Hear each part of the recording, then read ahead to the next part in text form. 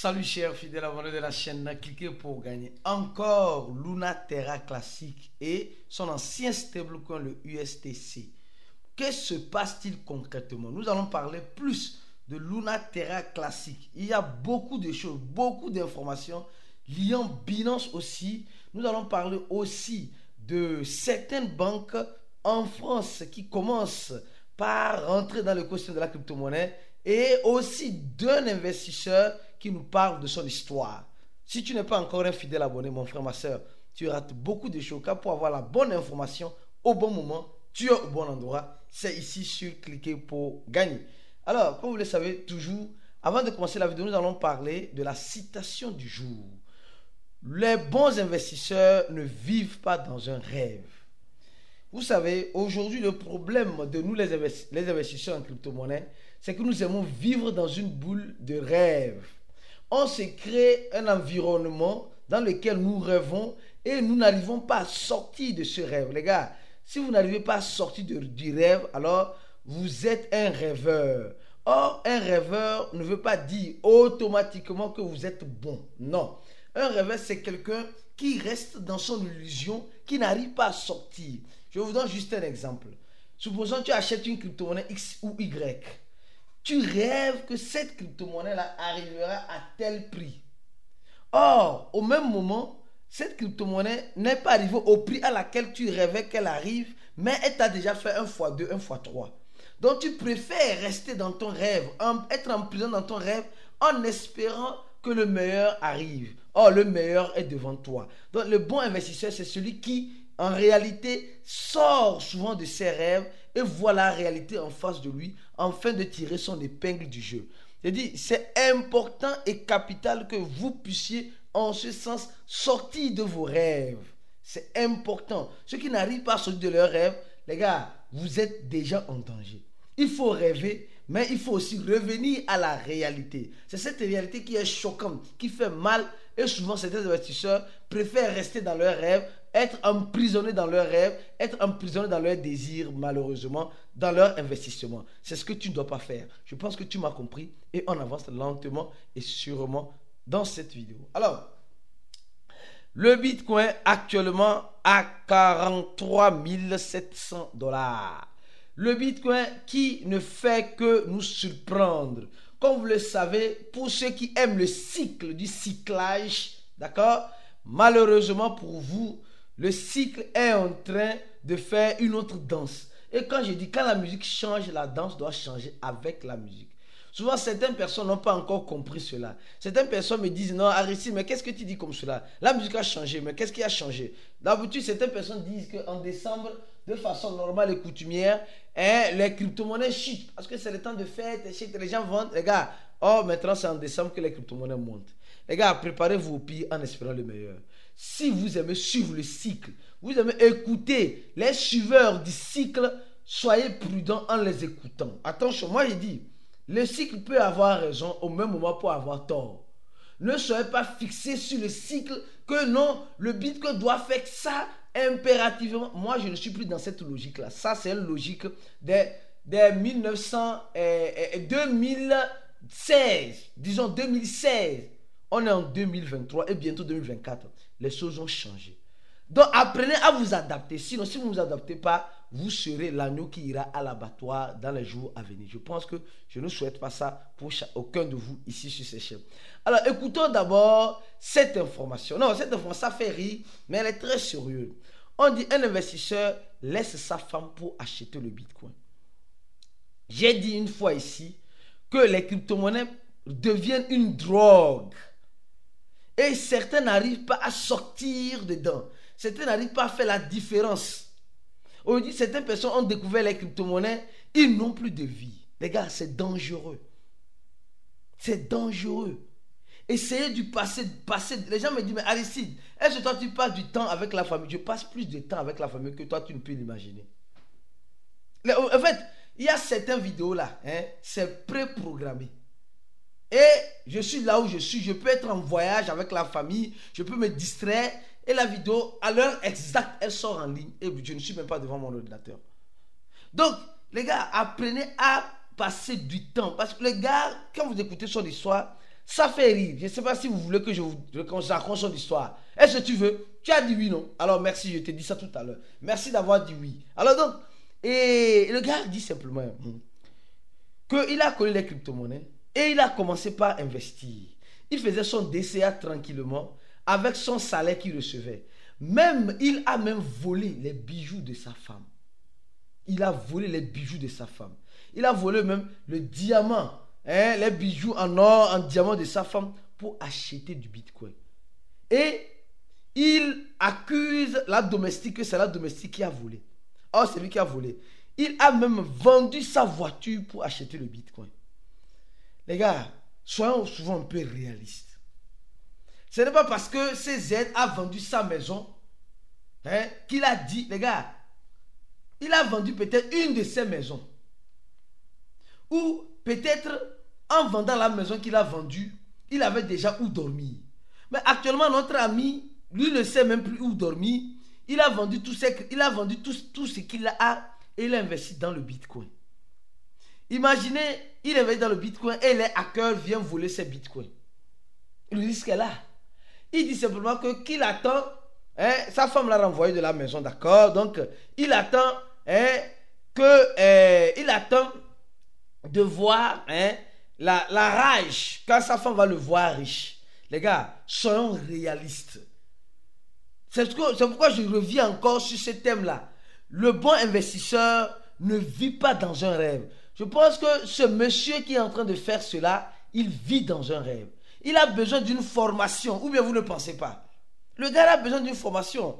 Parce qu'il a pensé qu'il connaît les crypto-monnaies, que les crypto vont le rendre riche.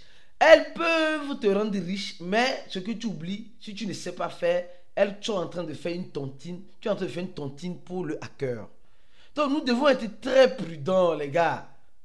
Nous devons être. Il a déjà acheté 6 bitcoins. C'est vrai, il peut être devenu milliardaire, mais à quoi bon être milliardaire, millionnaire quand tu n'as pas avec qui profiter de cet argent-là Vous allez me dire non, quand tu n'as pas les personnes que tu estimes, que tu sous-estimes être à tes côtés pour vivre, pour jouir de ce que tu as profité. Les gars, vous, devez faire très attention. C'est important ce que j'ai dit. Au même moment, avant de parler de Luna, on va parler maintenant de, de Luna Terra classique. Les gars, encore Luna Terra classique. Et encore Luna Terra classique. Les gars, oui, Luna Terra classique a fait feu. Elle a fait feu. Et hmm, elle a fait feu au cours de ces sept jours où elle a fait en quelque sorte 72%, presque 80%. Et les gens me disent, mais qui se passe-t-il concrètement? Oui, vous allez voir, il y a encore, encore Luna Terra classique. Encore le USTC. Nous sommes en train de voir qu'au moment où je fais cette vidéo, le volume, la capitalisation est de 1 milliard et le volume d'un demi-milliard. Et nous sommes en train de voir le pourcentage qui a diminué de 45% et la capitalisation qui a diminué de 12%. Euh, le USTC, vous allez comprendre les gars, le USTC, qui est l'ancien stablecoin de Luna Terra classique, nous allons parler de Binance. Et attention, et attention, il y a une information importante. C'est pourquoi je dis, les gars, si tu n'es pas encore un abonné session, tu rates beaucoup de choses parce que nous venons t'apporter la bonne information au bon moment. Le ISTC, qui, en quelque sorte, hein, a dégringolé récemment, hein, ici, et est revenu à, 0.04 4 centaves et qui est revenu à 0.06. D'accord? Alors, que se passe-t-il concrètement, les gars? Si vous prenez votre, actuellement là, si vous prenez votre téléphone, et vous rentrez dans Binance. D'abord, vous rentrez dans Binance, vous, vous, vous essayez de faire une simulation de retrait. Je dis de retrait, d'accord? Vous allez voir un retrait, vous allez appuyer sur, eh, eh, quoi appelle-t-on eh, BEP20 ou quoi appelle BEP20 ou surtout BEP20, Binance Smart Chain, vous allez voir qu'il y avait un petit souci. Mais ce souci-là, c'est une maintenance programmée sur la blockchain Binance Smart Chain. Donc maintenant, tout semble revenir à la normale. Donc, les gars, pas de panique. C'est vrai, on pense Binance, Binance dans deux heures de temps, tout reviendra à la normale. Et je suis en train de dire au plus grand tard, hein, le 7, hein, le 7, il y aura il y une mise à jour, un, un hard fork sur la blockchain BNB, Binance Smart Chain, le BEP20. Donc, euh, s'il y a des instabilités, ne vous, ne vous inquiétez pas. Ça ne, veut pas. ça ne veut pas dire que Binance est en train de partir. Je ne défends pas Binance, mais du moins pour le moment, c'est une maintenance qui a été avertie, avisée hein, sur ce numéro de bloc-là qu'ils ont dit 30, 34 millions, oui, sur le numéro de bloc 34 millions 140, 140 700. Donc, approximativement, donc, les gars, donc il y aura des instabilités avec euh, les dépôts et les retraits sur BEP20 sur Binance et d'autres échanges. Donc, pas de panique quand vous voyez cela, pas de panique, d'accord? Alors, je reviens encore sur Binance. Binance et Binance, les gars, nous sommes en train de voir hein, le projet Luna Terra classique qui ne cesse hein, encore. Les gars, des informations qui sont là sont un peu piquantes. Ça m'a fait beaucoup réfléchir. Toi-même, quand tu vas voir ça avec l'analyse que nous allons faire, ça va te faire beaucoup réfléchir. Alors, nous allons parler d'abord d'une des informations.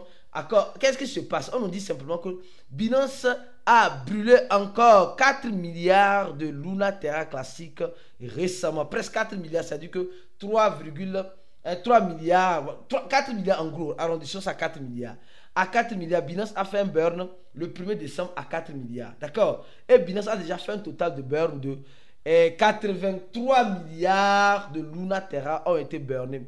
Pour que, comme vous le, savez très bien, le projet Binance et l'échangeur Binance a décidé de soutenir Luna Terra classique sur les burns. Donc, c'est un projet hein, qui est déflationniste en quelque sorte. Et l'équipe de Binance a décidé de les aider à arriver vite aux objectifs bien que le projet a été abandonné par les créateurs et a été repêché par la communauté.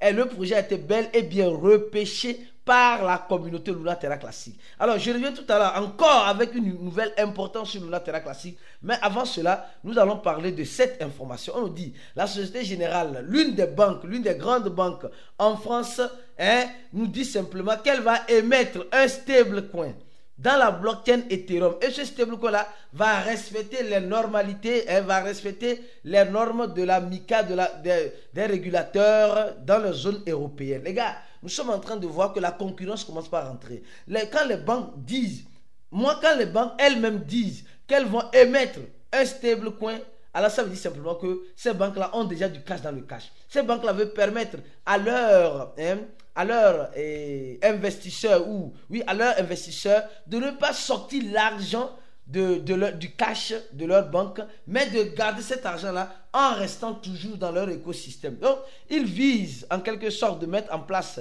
un stablecoin sur l'euro afin de pouvoir permettre aux investisseurs d'acheter et de vendre les cryptos en, tranquillité. Mais est-ce que ces monnaies-là vont se faire voir sur les sites de cotation comme, comme Market Cap Je ne saurais vous le dire parce que franchement, ça reste encore... Hein, vous allez voir, il y a déjà des stablecoins sur l'euro. Hein, il y a déjà des stablecoins sur l'euro. Mais je doute très fort que ces stablecoins-là apparaissent dans les sites de cotation. Franchement, je doute très fort. Mais elles peuvent, j'ai dit, elles peuvent apparaître. Elles peuvent apparaître. Mais pour le moment, l'information est toute fraîche. Alors, ils sont en train de voir comment ils vont, en quelque sorte, intégrer hein, le, le, le, le, les stablecoins là hein, dans le système bancaire je pense que c'est un grand avantage que nous sommes en train d'avoir aujourd'hui. L'un des gros avantages que nous sommes en train d'avoir aujourd'hui, c'est de permettre hein, aux anciens investisseurs de se convertir dans, la, dans je peux dire en quelque sorte, dans le nouveau investissement qui sont les crypto-monnaies actuellement. Merci beaucoup à, à, à, à Société Générale. Les gars, ceux qui ont des comptes sur Société Générale, gardez les yeux grands ouverts et informez-nous de temps en temps. Merci. Alors, je reviens encore sur le projet Luna Terra Classique. Encore Luna Terra Classique, les gars. Oui, oui et oui et oui. Les gars, d'abord, il y a une information. Encore une information. Bit, euh, BitMEX. BitMEX, c'est un, échangeur aussi qui est plus dans le trading futur, en quelque sorte dans les, dans les contrats perpétuels. Et il dit simplement qu'ils vont lister le USTC et le Luna Terra classique hein, en trading futur sur leur échangeur. Les gars, ça, en fait, ça donne encore plus les ailes. Hein. Le 5, d'abord, hein, ils ont fait cette annonce le 5. Ça donne encore plus les ailes à Luna Terra classique d'avoir plus de spéculateurs sur le trading futur, ce n'est pas forcément des holders. C'est des les manipulateurs, les gens qui spéculent plus. Donc, ça donne plus encore un crédit intéressant au projet Luna Terra Classique et au projet USTC eh, qui est l'ancien stablecoin. Donc, les, les, manipulateurs vont encore bien, bien manipuler le marché. Au même moment, oui, encore et encore et encore Luna Terra Classique une information encore importante et capitale pour les investisseurs du polylatéral classique. Une fois de plus. Mais avant de continuer l'information, si tu veux te former, avoir une bonne formation, une formation suivie d'un accompagnement, notre équipe est toujours disponible. Nous te prierai de remplir le premier lien en dessous de la vidéo. Tu vas tomber sur cette page-là. Tu remplis. Il y a déjà plus de 1000, 1841 euh, personnes qui ont déjà rempli le formulaire. Chaque jour, il y a en moyenne deux personnes qui remplissent ce formulaire pour adhérer à notre, notre cours VIP, pour avoir les avantages exclusifs. Toi, tu attends quoi? Si tu n'as pas les moyens, contacte-nous en description de la vidéo. Tu vas voir le numéro plus 228 97 04 48 07 ou le plus 55 11 95 28 09 797. Nous sommes disponibles pour même te coacher de façon particulière quand tu vas nous contacter sur ces numéros-là, sur Telegram, afin d'avoir les bonnes informations, comment sécuriser tes crypto-monnaies et bien d'autres. Alors, l'autre information sur Luna Terra Classique, c'est celle-ci, les gars. Ça fait, ça fait réfléchir.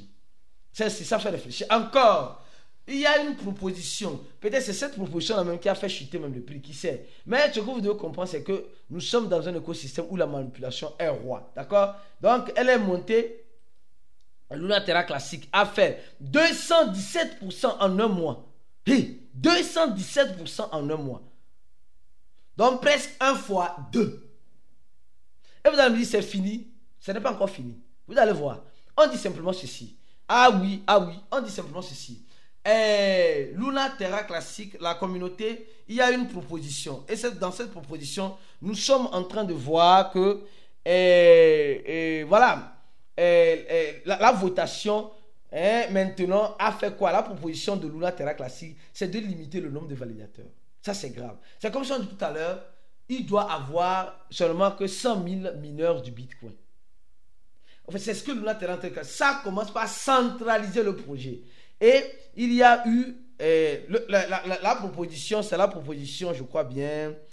Où est le nom, de la proposition La proposition Oh merde, je ne vois pas le numéro de la proposition. Mais il y a une proposition qui a été votée et les validateurs ont accepté de limiter le nombre de validateurs, le nombre de personnes qui... Ah la proposition 11 888 d'accord, qui a été voté pour limiter le nombre de validateurs. Ça dit le nombre de personnes qui sécurisent la blockchain de Luna Terra classique. Donc là, ça commence à être inquiétant parce que la communauté dit simplement, si c'est comme cela, ça va centraliser plus hein, le projet et ça ne va pas beaucoup décentraliser le projet. Donc ça commence à inquiéter beaucoup les investisseurs du projet Luna Terra classique. Et toi qui es un investisseur, est-ce que ça t'inquiète? Laisse un commentaire de la vidéo et on continue nos analyses, comme vous le savez très bien, dans notre groupe VIP. Pour ceux qui veulent nous rejoindre, contactez-nous sur le numéro, les numéros Telegram qui sont en description de la vidéo ou cliquez sur le premier lien vous serez pris en charge par notre équipe pour nous rejoindre dans le groupe VIP. On se dit à la prochaine vidéo et ciao